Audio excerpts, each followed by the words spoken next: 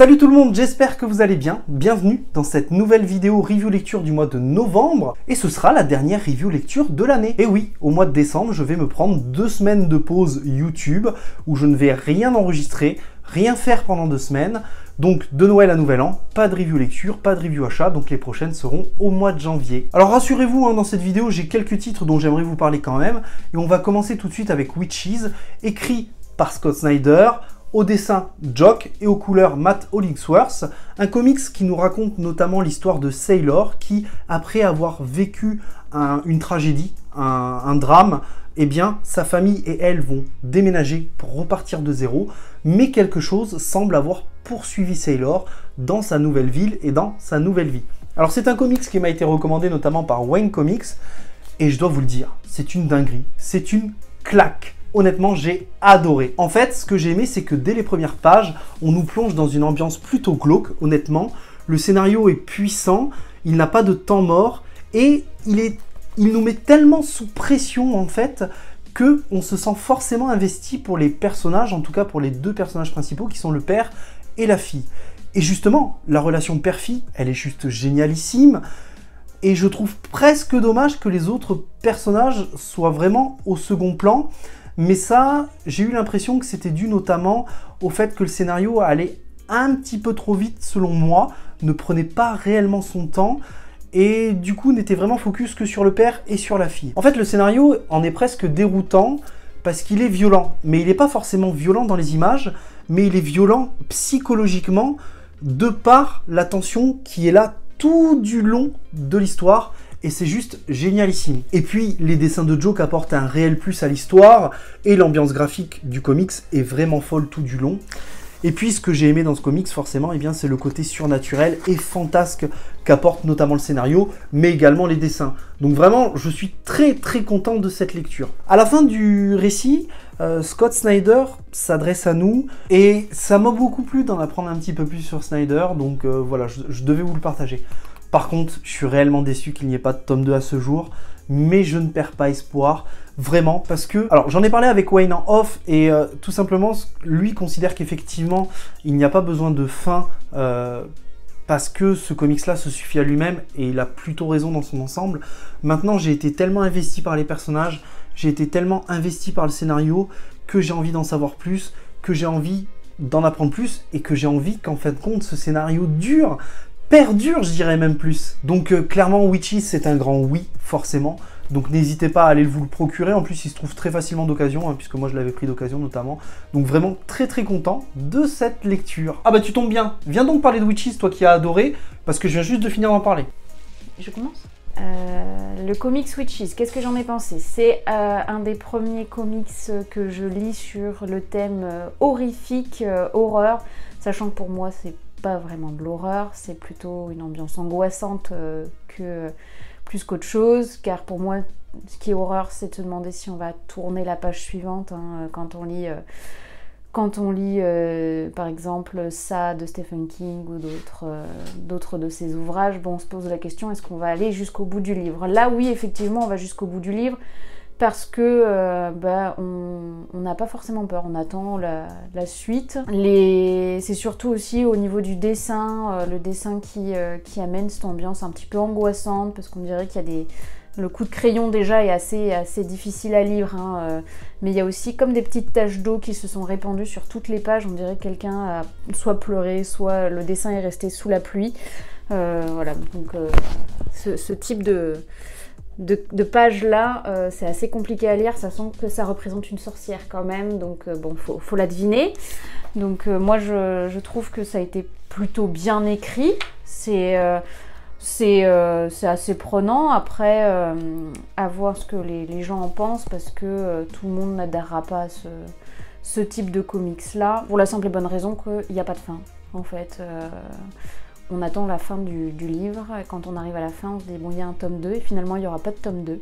Donc euh, c'est un bon livre, mais euh, ce qui est, c'est dommage de ne pas avoir de suite. Pour ceux qui, aiment euh, le thème sur les sorcières, pourquoi pas? Après, c'est pas le thème des sorcières comme on l'aborde souvent. Hein. c'est vraiment un thème spécifique. On peut même penser que ça, par rapport au film qui était sorti, euh, qui s'appelle Us, euh, ça fait aussi un peu penser à ça, avec les, sorcières qui vivent euh, sous terre, etc. Donc, qui viennent chercher des, humains. Donc non, pourquoi pas, pourquoi pas à lire. Moi, j'ai trouvé ça plutôt sympa. Après, il me manque, il manque vraiment une fin. Quoi. Elle a du talent quand même. Hein. Et à contrario de Witches, voilà un tome qui prend son temps, puisqu'il s'agit d'Outcast tome 1 et il faut le dire, Outcast prend son temps sur à peu près tout. Il prend le temps d'installer une ambiance, il prend le temps de poser un contexte, et il prend le temps d'installer ses personnages petit à petit. Parce que dans ce récit, on va suivre deux personnages principaux. Le premier, c'est un révérend, un homme d'église, un homme de foi, qui va pratiquer des exorcismes, et à côté de ça, nous avons Kyle Barnes, un personnage un peu plus jeune que le référent, qui est un peu, voire beaucoup paumé, et euh, qui a un don en relation notamment avec les exorcismes. Que j'ai beaucoup aimé notamment, c'est que au fur et à mesure que le récit avance, eh bien, je me suis senti évoluer avec ce duo naissant, avec ces deux personnages, qui a priori tout opposent, et pourtant pas tant que ça, et qui plus est, eh bien, les personnages sont plutôt complexes, et le récit nous fait découvrir au fur et à mesure en semant des petits morceaux de puzzle à droite et à gauche, eh bien, la personnalité, mais aussi le passé des personnages. Ce que j'ai aimé également dans ce récit, eh bien, c'est le côté très franco-belge euh, du dessin, qui peut sembler simple a priori, mais qui est pourtant bourré de petits détails à droite et à gauche, comme notamment eh les zooms qu'on peut retrouver sur cette page. Voyez, ici par exemple, on voit Kyle qui regarde dans l'air, et en fait, on a un zoom qui nous montre un aigle. Je trouve ça plutôt sympathique et plutôt très intelligent. Je trouve que les expressions faciales, de façon générale, sont relativement bien transcrites, bien dessinées. Et c'est un premier tome qui m'a convaincu et qui m'a donné envie de lire le deuxième tome. Et ce deuxième tome, eh bien, il continue sur sa lancée. C'est-à-dire qu'avec un rythme plus ou moins lent que le premier tome, je dirais presque similaire en fin de compte, eh bien, on continue à en apprendre un peu plus sur les personnages. Ce deuxième tome est beaucoup moins bavard, tout simplement parce qu'en fait, il possède des planches qui sont sans dialogue, des planches, j'ai envie de dire, muettes, mais pour autant, ces planches sont très, très expressives, au point qu'elles m'ont filé des frissons, c'est incroyable. En fait, il y a une véritable ambiance dans ce tome 2, et j'ai adoré. Il y a cette scène notamment où Kyle se prend la tête avec le révérend en disant que bien peut-être tout le monde est possédé. Et là, d'un coup, il se retourne. Et mon Dieu, mon Dieu, il voit de nombreux regards qui sont posés sur lui. Et ça met un certain malaise quand même. Et là, je vais potentiellement vous spoiler. Donc, plutôt que de vous spoiler si vous comptez lire Outcast, je vous conseille de passer votre chemin et on se donne rendez-vous à ce timer-là.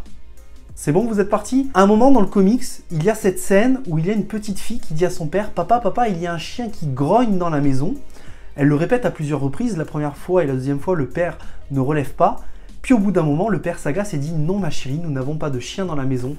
Et là, on se retrouve face à ce genre de planche où la madame n'est pas très très contente, honnêtement. Et quand j'ai tourné la page, déjà d'une part, je m'y attendais pas du tout. Alors certes, ce n'est pas un screamer, mais pour autant ça m'a filé la chair de poule et j'ai trouvé ça oufissime qu'un comics comme Outcast, dont euh, le premier tome en fait ne m'a fait ni chaud ni froid sur les exorcismes, eh bien possède au moins deux scènes qui me filent des frissons, qui me filent la chair de poule. Mais franchement c'est très solide Outcast, hein. je, vous assure que ces deux premiers tomes posent petit à petit le ton et ça me plaît, c'est vraiment très bien. Et ce que j'ai aimé également c'est que eh bien, Kyle et le révérend se mettent en question chacun de leur côté, euh, le, fait que le révérend se remette en question, ça fait passer Kyle un peu moins pour un paumé et un peu plus le révérend pour un paumé.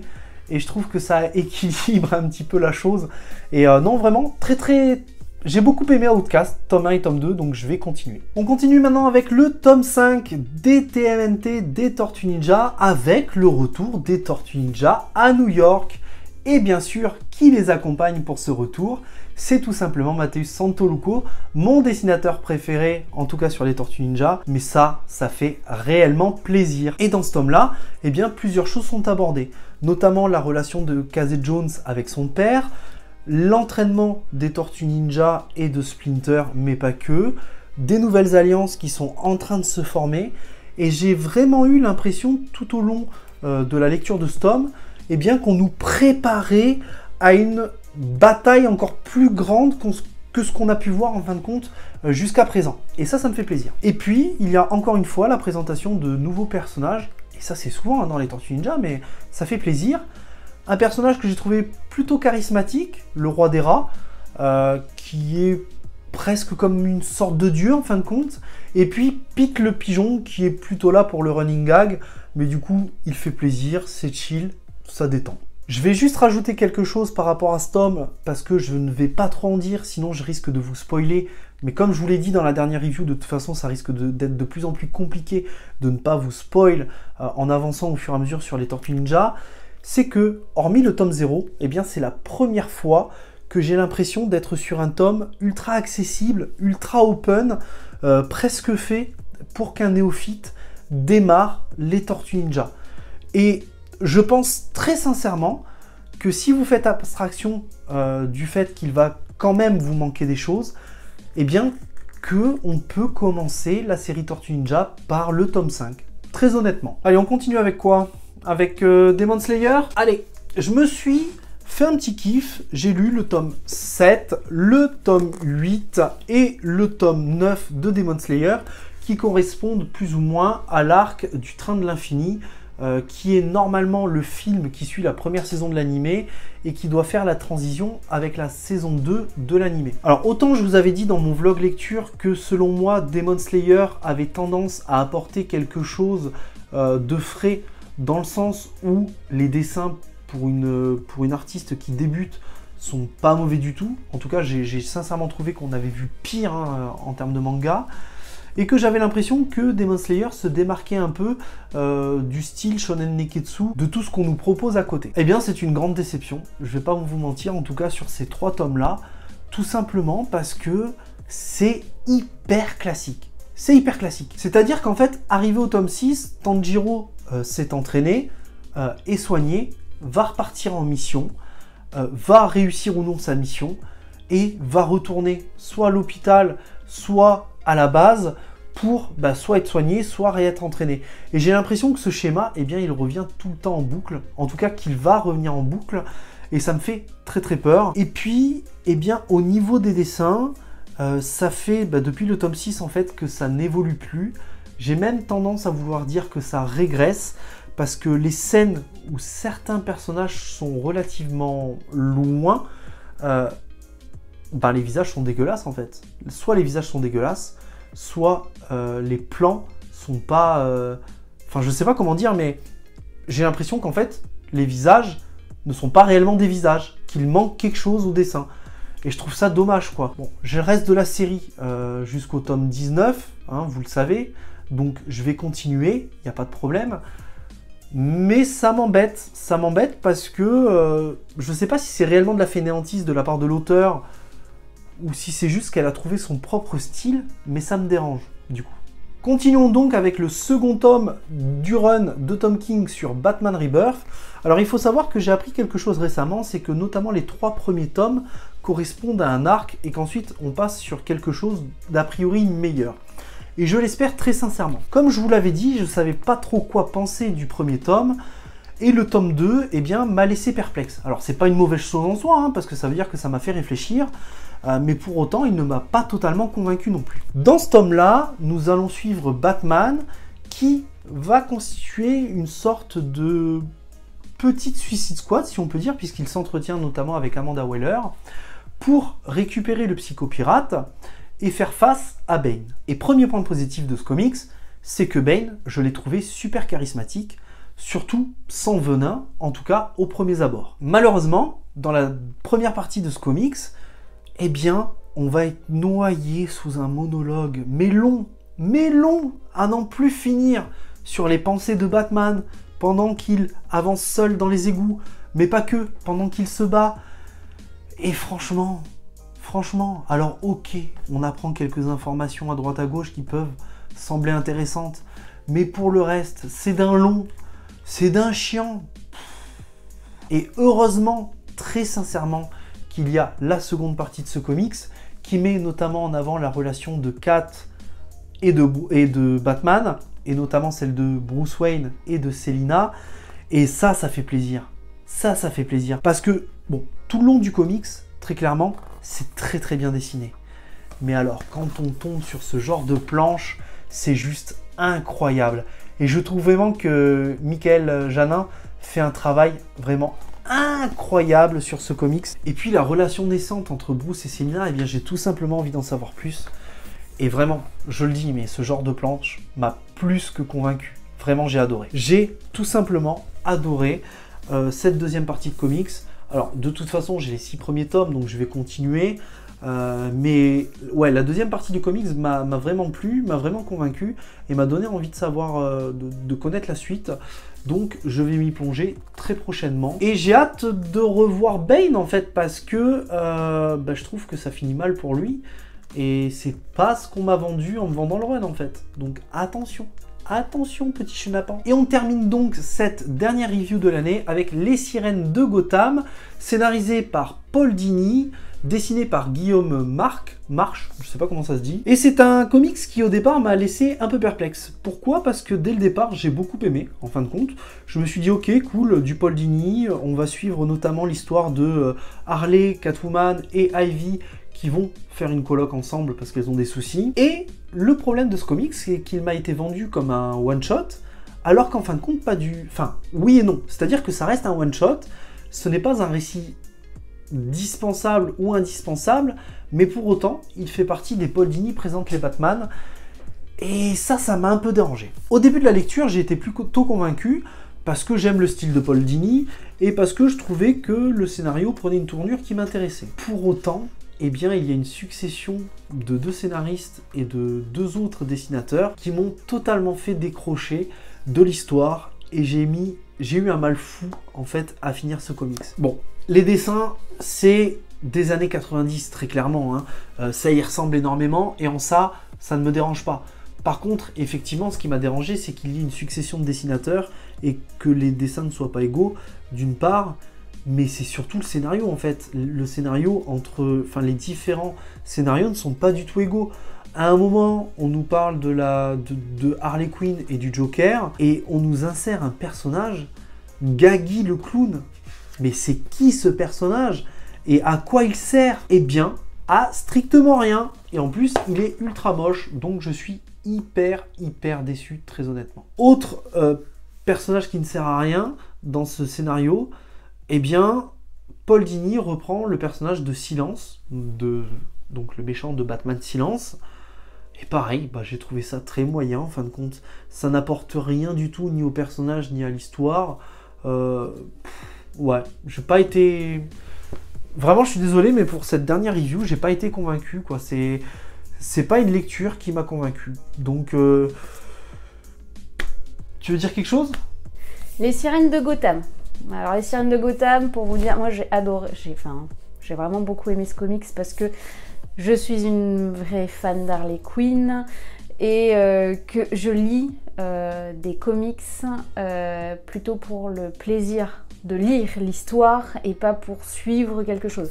Donc pour moi, les sirènes de Gotham, je me suis vraiment amusée. Il y en a d'autres qui n'ont pas adhéré parce que scénario trop simpliste ou ou, euh, ou euh, personnages bah, qui étaient euh, bah, qui font ce qu'on attend d'eux, hein, mais qu'il n'y a pas de, a pas vraiment de, challenge. Donc, mais moi j'ai adoré. C'est simple à lire, c'est no brain. Moi qui suis une débutante en comics et qui en lit pas beaucoup, hein, je vous avoue que à part Harley Quinn, le pingouin, le Joker, de toute façon je suis très vilain. Moi j'aime beaucoup les vilains, mais mais en fait je ne lis pas pour pour lire des histoires, euh, par exemple Batman, ça m'intéresse pas forcément parce que c'est très très long à lire et que moi je lis, des, je lis les comics pour me faire plaisir et pas, euh, pas pour euh, l'histoire du personnage ou la mythologie du personnage. Donc je lis vraiment pour, euh, pour l'histoire en elle-même et pour le coup les, sirènes de Gotham euh, c'était top. Surtout que ça, ça fait intervenir trois des personnages que j'aime beaucoup, donc Harley Quinn forcément, Catwoman et Poison Ivy, dont on voit pas souvent euh, l'apparition. Il y a pas de. J'ai pas vu beaucoup de choses sur Poison Ivy. Et, et j'ai trouvé ça top. Donc une, une colloque entre trois nanas un peu badass comme ça, moi je recommande pour ceux qui ont envie de s'amuser et de pas chercher euh, la complication euh, ou un scénario trop, trop complexe, parce que vraiment c'est pour s'amuser et pour se faire plaisir. quoi.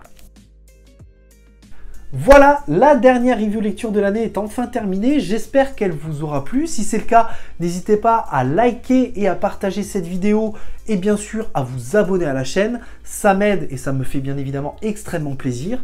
N'hésitez pas à me dire si vous êtes d'accord ou non avec mes propos sur mes lectures. J'ai très très hâte d'échanger avec vous à ce sujet et à me dire ce que vous avez lu ce mois-ci.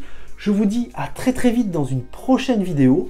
Prenez soin de vous et n'oubliez pas, de grands comics et de grands mangas impliquent de grandes lectures. Ciao